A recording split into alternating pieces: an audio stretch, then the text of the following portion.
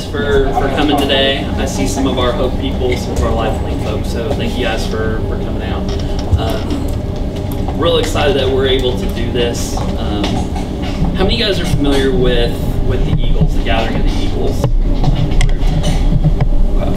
So the Gathering of the Eagles group is the the top 100 or the biggest 100 systems in the in the country, and their medical directors. And they get together every year, um, and they discuss what's going on in, in EMS. Um, they have a big big conference every year where they talk about um, all the different things that are going on, and they really are a huge driver. Um, in, in the progression of EMS. And last year, the year before, I can't remember what it was, um, but I was sitting at national conference and listening um, to them do a panel discussion. And they're always very careful about some of the comments that they make, and they qualify a lot of their stuff. Uh, but they flat out said whole blood is probably going to be the biggest um, change or the biggest impact, most impactful thing to happen in EMS um, in the last 20 years. Uh, and and so um, I think it's huge that we're able to able to bring it here. Um, the hospital has been very very receptive and very pro uh, doing this, and so um, it's I think it's going to be it's going to be a tremendous thing for us to have.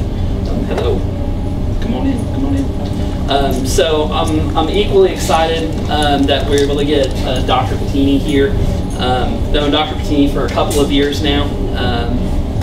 back way back in the day when we were both in Oklahoma. Um, Dr. Pettini was a ER doctor up at Tulsa. We used to fly our patients, our massive train wreck of patients, um, up to up to their facility at St. Francis. Um, and so um, when I got to Onslow and we started a blood program there, and I reached out and uh, found that Dr. Pettini was was involved, um, I was really excited. So one of my first calls when when I knew we were going to be able to do a blood program here um, was to reach out to Dr. Pettini, and so he's gonna he's gonna talk a lot um, about blood. We're gonna we're gonna start from the basic and work our way all the way through.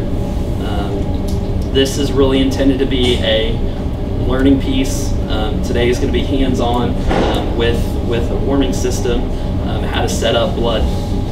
So please ask a lot of questions. Yesterday's group did really well. Um, they they asked a, a lot of really thoughtful questions. Um, so this is your time to learn. So ask all the questions while while you have you have the expert here.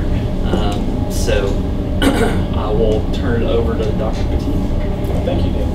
Well, speaking of expertise, um, I, I, came here yesterday and you know I hadn't talked to David live in quite a while, and I said, you know, it's I think you're the only chief that I know of across the country that's done two blood programs as the chief and he corrected me, so this is number four because he's been instrumental in uh, two other programs. So that's very unique because we're still in the infancy of this. So I want everyone of you to be totally excited about this because you are still in that kind of pioneering group. We've proven this works. This really impacts patient outcome.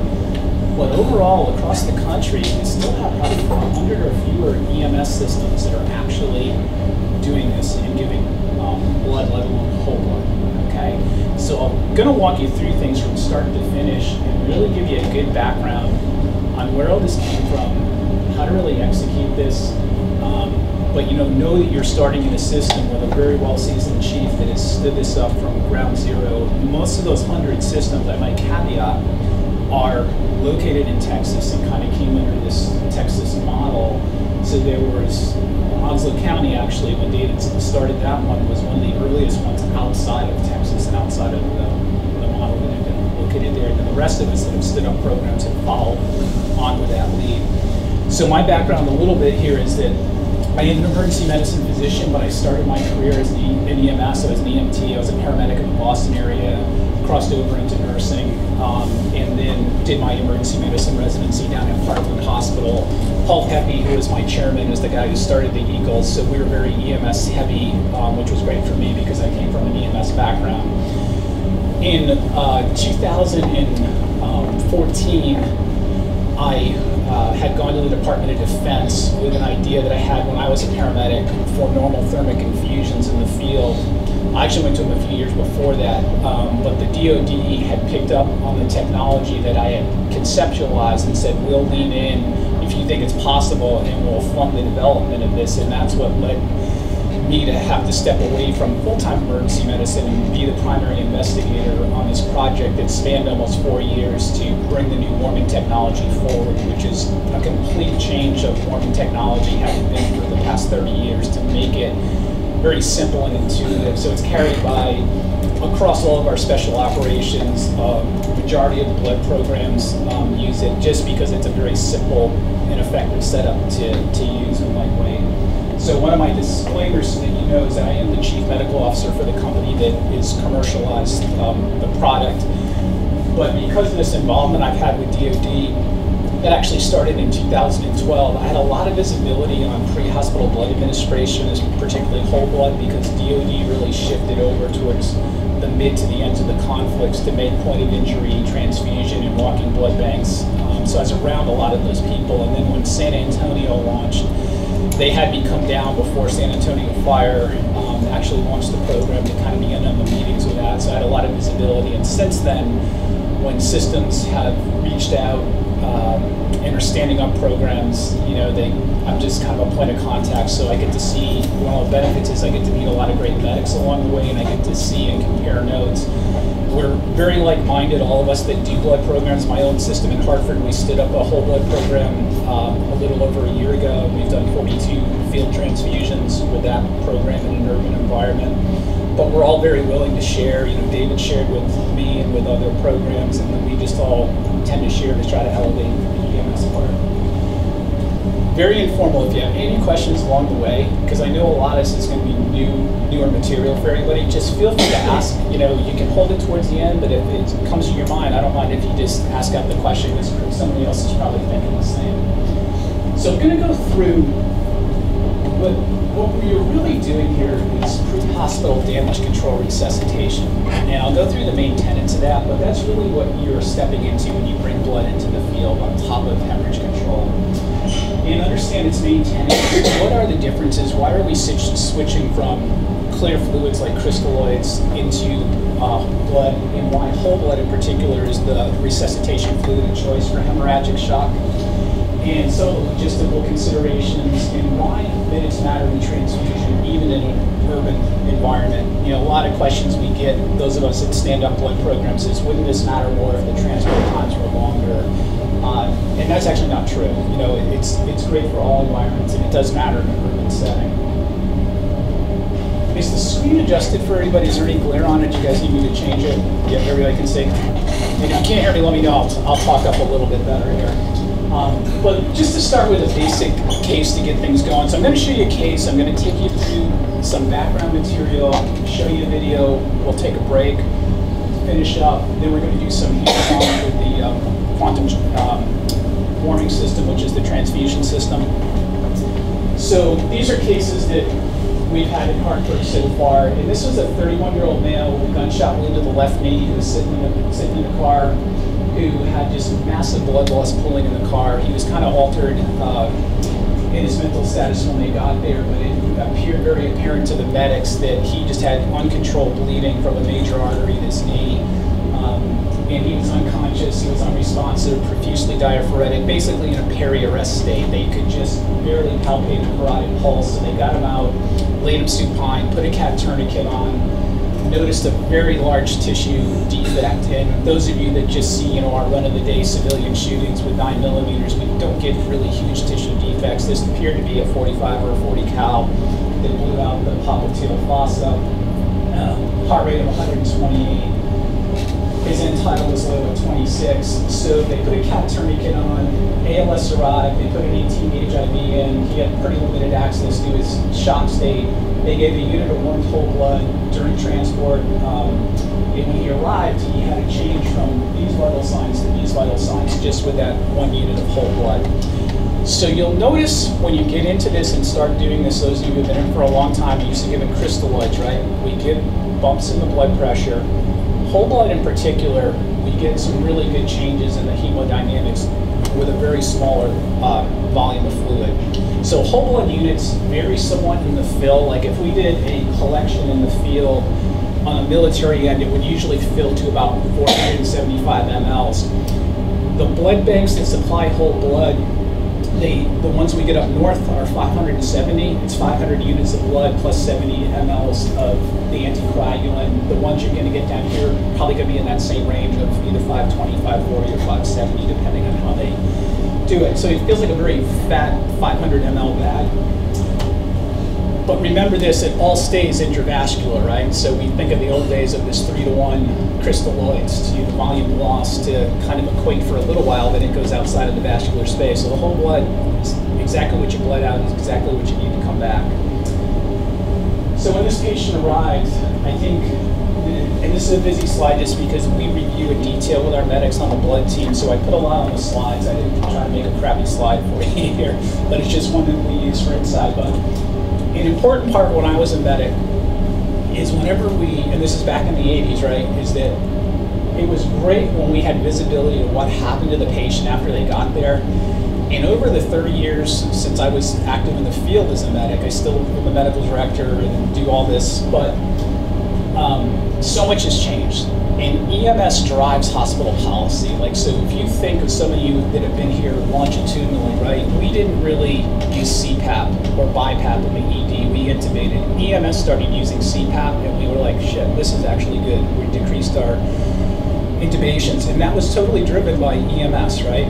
Um, we never used IOs. We'd always go for the central line. We would start getting EZ-IOs or whatever come in EMS. So we started stocking IOs. I'm like, you know what? We can get by sometimes as a great bridge or not using the central line.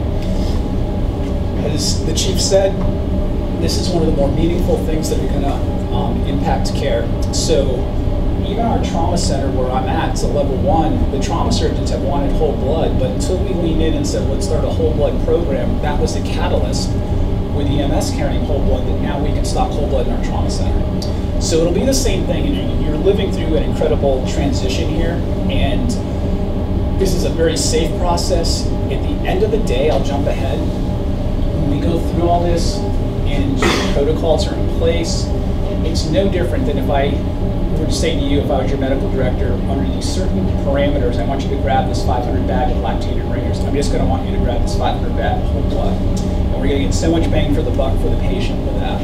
But it's really that safe at this point with how we're doing this. So to give you some visibility on hemorrhagic shock and how what we do in the field impacts what we can do with the patient, I want to bring in early on in this talk, reinforce it, and then you can look at it later. This lethal triad of trauma that occurs with hemorrhagic shock. And this lethal triad of trauma is what kills the trauma patients, and it also limits the ability when they go to the OR how far they can go in the surgical part of this. And the lethal triad of trauma consists of the patient getting cold, it's hypothermia, it's related to blood loss, they get acidotic, which changes their acid-base balance, and they get coagulopathic, meaning their blood isn't going to clot right. So all of our, Most of our chemical reactions in our body, but particular to the clotting process, are temperature dependent and they're pH dependent, acid base dependent. So the more we can keep those in this kind of tight range, you know, as humans, we have very tight ranges for certain things. So temperature uh, and pH are very critical in trauma patients because if they're out of range, meaning low, uh, we're going to have a lot of difficulty with that patient sustaining them through what they have to go through once they get to the OR. So everything you do in the field to prevent that lethal triad of trauma helps the outcome of the patient and it helps get them to the next step. So when this patient arrived, he had a decent blood pressure. He was, compared to where he was at, he was mentating, and his arrival temperature was really good. This was March 10th, and in Hartford, March 10th can be cold. This is at night. Um, these labs may not mean a lot to you right at the moment, but you know, lactate. Oops, did this yesterday. Um, lactate is a marker of shock. You know, as lactic acid is built up, it means we've had inadequate perfusion of the tissue. So his lactate was high. His international normalized ratio, which is a mar marker of how he's clotting, is elevated. So he's already acidotic and he's coagulopathic. And we confirm this with a, his pH is 7.2. That should be 7.35 to 7.45. So we already know, other than he's got two legs of the lethal triad, but his temperature is normal, which is great. So he ends up getting a couple more units of blood in the ER. The CAT tourniquet is still in place. But this buys, because he got fairly well resuscitated, he arrived with a blood pressure, he started with no blood pressure. It lets the trauma service have the luxury of walking from the trauma room with the patient next door to our CAT scan. And anything that they can determine before they get to the OR that's reasonable helps them plan their surgery. So this bought this guy some time. He's resuscitated, the hemorrhage stopped. And you know, plain films, he's got an explosive fracture here on his proximal tibia. On the coronal cut of the CT, we can see, okay, this is a little more, this is pretty explosive looking. And then um, on a sagittal cut, we see that cat tourniquet was loosened up so that we could let the contrast, which is white IV contrast, go down. And you know, his popliteal artery should not abruptly cut off right here. You need to see this blew out his popliteal artery that was free flowing and everything's tight together, and then he developed and required fasciotomy. So the end result for this patient, unfortunately, was that he did lose the leg.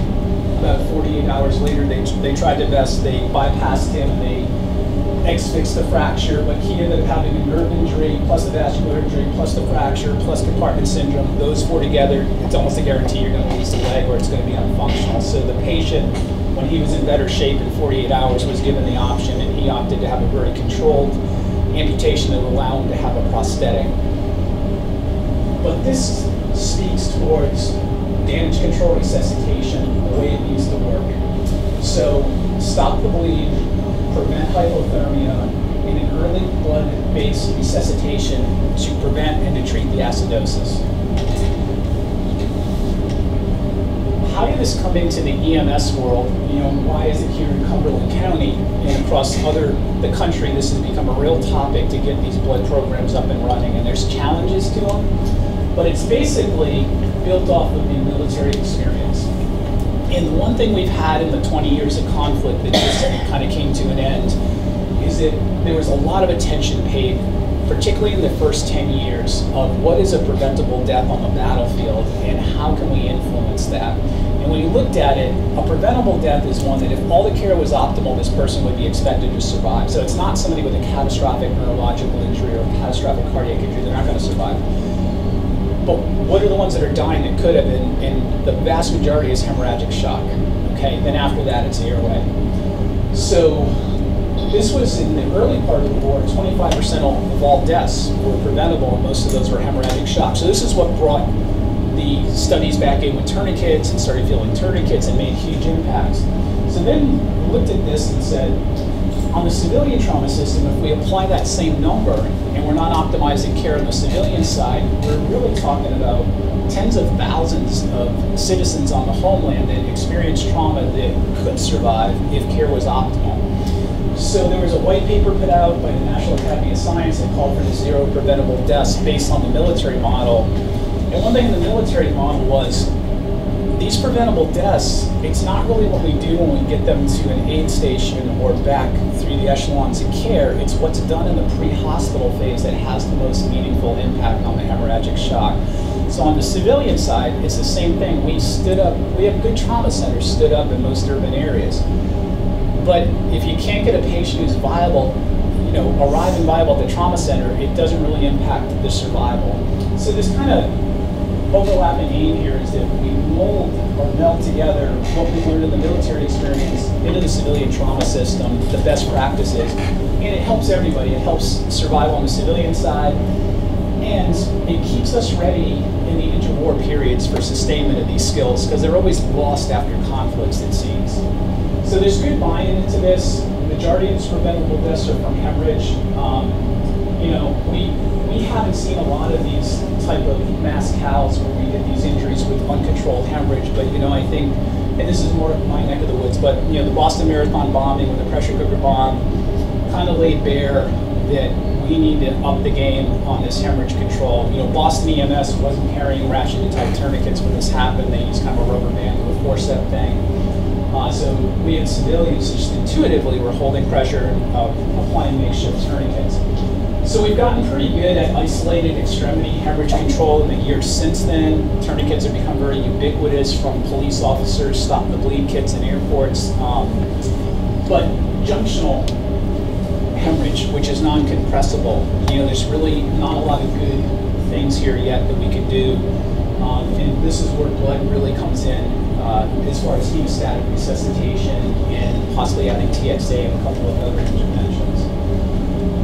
So damage control resuscitation really revolves around these highlighted tenets is that we get control of the hemorrhage early on. We allow for the blood pressure to be lower than normal, um, some permissive hypotension, and minimize the use of crystalloids if we can control hypothermia. This should be on the forefront of your mind. I'm going to give, dig deeper into this in the slides to show you why that's important compared to what we think of like just primary hypothermia from the person who passed out behind a liquor store versus a trauma patient who's dropped a couple of degrees. In early balanced blood-based resuscitation is now a reality for EMS. So, do you have any current or former service members here medical. So which side of the street do you identify with? I was coming out. I was a medical. All right, so the left side has been the trauma assessment in, in military medicine probably since the late 90s, right? Where massive hemorrhage is prioritized over airway, which sounds a bit heretic to people, right? Usually in the civilian world, we've done airway breathing circulation disability and exposed the patient just recently added environmental control, otherwise keep the patient warm. Whereas in military medicine, it's focused on massive hemorrhage, airway, respiration, circulation, and the H in March is hypothermia prevention, head injury. And this just makes more sense when it's been looked at that on the battlefield, preventable deaths, a huge percentage is from hemorrhage. Then it steps way down to airway. So why would airway matter if they're bleeding out at such a rate that you're not going to have a viable patient. And it doesn't take one just to get quick control over an airway. And again, I'm speaking from my experience in, in a system I work in that can change locally. So I, I you know, refer you to the chief. Um, we'll be up here for the actual guidance on your assessment. But this seems to make a lot of sense. A massive hemorrhage really means, you know, not a little oozing wound, you know, go to airway on those patients that don't seem to have much visible. When you show up like the guy in the car is just exsanguinated without pulses, we're not going to look lucid and feel. We're going to get a tourniquet on first, and then we're going to do the airway and go down with the march algorithm. So damage control resuscitation again, bringing it back to how this impacts the patient when you get the patient to the hospital, right? So for myoptic, and we only look at the pre-hospital time and what we're doing to the patient, do a good job, but you really got to look at you're in the continuum of care of these patients. The ultimate goal is to improve the outcome, that this patient's going to survive, go back to their family, go back to productive life. So damage control resuscitation evolved from damage control surgery. And damage control surgery is surgery that when we get a trauma patient, just got to take control as quickly as possible of the major life-threatening problems. And that typically involves opening them up from their sternum to their pubis and just get wide exposure and quickly packing all the critical quadrants of the abdomen and then looking for the bleed and correcting it. And the severely injured patients that need damage control surgery really lack the physiological reserve to take and do a complete surgical fix of everything in one operation. And what limits that is the lethal triad. It's where their body temperature is going, where their coagulation profile is going, and where their acid base balance is going. So it was found a few decades ago that this is the way to go. If you have to take one of these patients in, you just do a quick open, pack, fix the life-threatening problems, and then leave them open, take them back to the ICU, get them warm, get them resuscitated better, and then go back to the OR for the definitive repairs. And sometimes these patients have to bounce back and forth several times in that first 24 or 48 hours, but this saves more lives than bringing in the orthopedics to do their fix at the same time or just trying to do a fancy repair. So that is proven and that works, but if you don't receive the patient that they can even tolerate getting through the DCS, the damage control surgery, it's not a lot to work with. So we push out the control resuscitation to the ER to the trauma room, and now it makes sense to see it start the pre-hospital phase. And all along the way, this lethal triad that we talk about, you losing blood, losing body temperature, becoming coagulopathic, getting acidotic, it keeps going from the point of injury through the pre-hospital phase to the trauma room into the OR. So everybody's got a chance to make their difference, but it really starts um, with the pre-hospital phase. Is this sort of familiar or just something touched on by people in the past? Is, is this new terminology for many people here when I talk about the lethal triad of trauma? Some people have some familiarity with it, but what I want to do is take it so you understand. Um, you know, classically, our basic definition of shock, right from EMT school, before we're even medics, is inadequate tissue perfusion. But what really happens with inadequate tissue perfusion, right? We're not getting enough oxygen carrying blood to the cells. So we've got this great redundancy that our cells operate the best in the presence of oxygen but they're not going to immediately die um, because there's a second mechanism. So they normally work the best in the presence of oxygen at a certain level. If the oxygen level gets low, they'll go from this aerobic metabolism into anaerobic, meaning there's limited or no oxygen. When they're in the normal state, like all of us in the room, there's a clean byproduct to aerobic metabolism, and there's no buildup of um, lactic acid, and we're able to generate heat. If we bleed out and we don't get adequate oxygen to the cells, we switch the mechanism to anaerobic metabolism. Anaerobic metabolism has a dirty byproduct, which is lactic acid, which changes the pH of our body, lowers our pH, makes us acidotic and we don't have that ability to generate heat. So trauma patients get cold for a whole different mechanism outside of the environment. So we see hypothermia in trauma patients in a different scale. You know, we act sooner um, before they get colder, and that this happens across whether it be a desert in Iraq or northern Vermont. It, it will happen with trauma patients. So as, as long as the temperature is less than the body they're going to drop temperature. Um, and there's things that we do that can even drop it more, such as giving unwarmed fluids, particularly with blood, because we're storing blood refrigerated.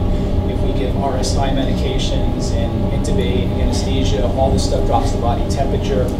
Then when we get to the OR, we open up this big body cavity and there's no way to control that heat loss. We drop the body temperature.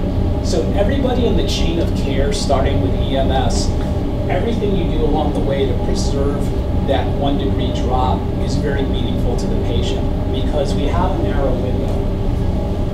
So to put this in perspective, why is this trauma-induced hypothermia very different than primary hypothermia? If I was at the hospital here and I had a, um, a primary hypothermia patient who's non-injured come in and their core temperature was 90 degrees Fahrenheit or less, I would only expect that close to 21% death rate or mortality rate if I received a trauma patient who was in shock and their temperature was 90 degrees or less, I would expect 100% uh, of those patients to die if they arrive at that temperature.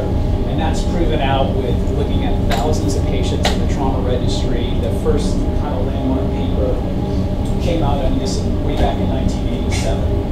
And it just hasn't been I don't think pushed enough on the civilian side. The military providers kind of got this early on and made it part of their doctrine and dogma, and I don't think we did it as well on the civilian side. And we use a much lower, I mean, sorry, a much higher cutoff when we define hypothermia and trauma. We think of a body temperature of 96.8 as the person's heading into hypothermia when they're traumatic. So that's not a, a very big range. And again, what happens is as the body just goes down a few degrees, we go from normal clotting to very impaired clotting. It doesn't take, take long to get there. So this case is a case where we had compressible and non-compressible hemorrhage, and this guy got shot 32 times, which is incredible. It's the most gunshot wounds I've ever seen somebody survive from. All of his extremities and, and four in the torso and was kind of like our first patient, a near uh, arrest situation. He was out in the snow. This was February. got shot on the street, multiple shooters, no radial pulses. He had a carotid pulse of 120, so we assume his pressure to be 60 or greater. Um, most of the external bleeding seemed to be coming from a leg, so they put a cat tourniquet, they decompressed his chest, they put on warm blankets, they gave him a whole whole blood on the inline warmer, they put a humeral IO in for access, um, and took him to our trauma center. And again, we received this patient, and his initial blood pressure was 84 over 52, so he's still on the very low end. We start a massive transfusion protocol. So this is a term I want to introduce you to. You know, a transfusion is what you'll do. You're going to give a unit of blood. That's a transfusion. Massive transfusion gets defined as the patient who receives four units in the first hour or 10 over 24 hours is considered massive transfusion. So by and large with EMS, unless you had a couple of um, extended scene time and you have a helicopter and a couple of ground units, you're not really going to get into the massive transfusion protocol.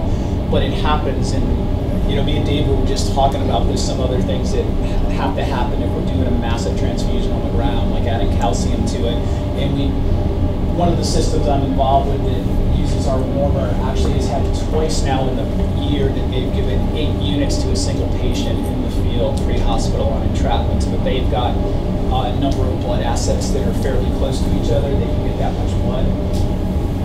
So this patient comes in, and this is the note from the trauma attending, is that you know he had his hands full, obviously, but he opened this guy's torso, got control of the bleeding, identified him, and he makes a note to say, you know, I had a blood gas of 7.1, you know, his pH is 7.1, his temp had gotten down to 92.5 Fahrenheit in the OR, and that they decided to just stop the surgery, take him to the ICU, and went back multiple times after that, and this guy survived. But again, we just reviewed this with the medics two weeks ago, and you know, all of this is a bundle of care, right? This is damage control resuscitation. So just because you have blood, that's not what is entirely going to save the patient. It's going to make a huge impact. But you can't forget the basics. Stop the bleeding, try to get you know, good access, minimize your exposure that the patient's going to have in the environment, retain heat, warm airway, um, and they eventually went to a humeral IO to get better, you know, access. Some of the slides we just showed in training were representative like of some of his extremity explosive injuries in his chest. He's got you know blood up in here, chest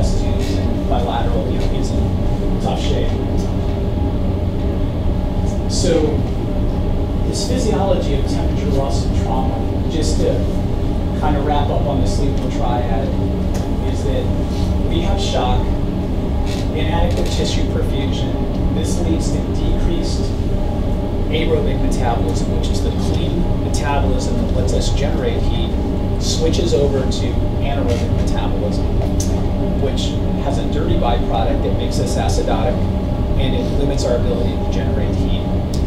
We don't typically expect, with the mass of the body, that we're going to really rewarm patients as much, at least with older studies that looked at, hey, if we just warm crystalloid IV fluids and we did a couple of interventions, we don't really see big trends. We know if we did warm it, they'd cool more. So we usually kind of set this goal line of we just don't want the patient to get colder in the pre-hospital phase. This group I was just telling you about in South Carolina that's done all these transfusions, I've been six months on their study group with them, and interestingly, they have a rewarming trend on their patients. And they basically use the set of views for warming their blood. They put a ready heat blanket on the patient, which is one of these, looks like, feels like a paper blanket that's got a catalyst to generate heat when you open the package.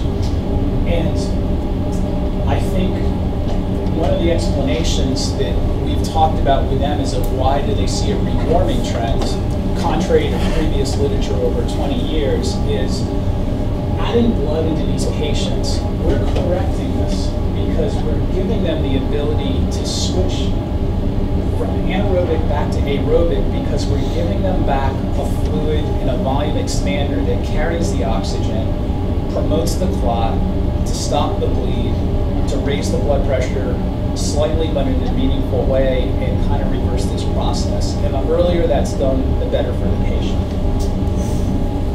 Environmental exposure is something that really has to be looked at. And this picture from the marathon, you know, shows you all the ways a patient, I think just as a start to show you that, you know, you've got blood loss, you're against a very conductive environment here of concrete that really pulls heat away, transfers heat away. You've got the fluid on the patient that's going to evaporate and cool. Um, so we really want to be super cognizant of this. And I think most everybody's intuitively does this, but there's a few other steps. You know, you get into the back of the truck, and if that's not uncomfortably warm to you as a provider, it's not warm enough for this kind of a patient. So you really have to allow yourself to be uncomfortable with the heat in the back of the rig. When I was at Parkland in Dallas, when you closed three of the trauma room doors, it set the thermostat to 80F. So as soon as we closed the doors with the trauma patient, the heat came up. And it's a pain when you're in the gowns and you know you're in a warm part of the country, but you really want to try to keep these patients warm. Another point here is going back to your physiology lectures in medic school is that this is the oxygen hemoglobin dissociation curve, which just really tells us when oxygen is held by hemoglobin and it's going to get unloaded into the tissue, there's certain things that change it. So carbon monoxide, we'll bring this over to the left. That's kind of the more classic thing we learn in medic school is that you've got enough oxygen, that's why you're pink, but it's bound to the hemoglobin and it's not unloading where it needs to go. But we also found if the patients are cold, it will shift to the left. And even if you're supplementing the oxygen, if they're still in a hypothermic state, it's not going to get out to the tissue and reverse this change that we're getting into the anaerobic metabolism. So just another reason we bundle, we warm the blood as we're giving it, we try to keep the patient at least in hemostasis and potentially questions about that so far? Um, not trying to make it too technical, but I always find with medics at this level, it's great to go back and review the physiology. You know, you read it again in others, and as you go along in this blood program, a lot of you are going to be curious and look at other sources, and you're going to see what I'm telling you and what Chief Grodell is going to tell you has coming up time and time again. And I always found when I was learning, the more I heard it, the